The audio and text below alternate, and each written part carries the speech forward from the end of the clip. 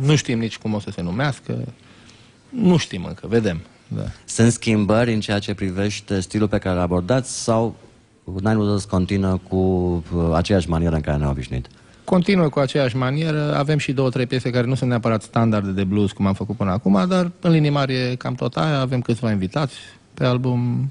Sperăm că... Adică avem feeling că o să iasă bine.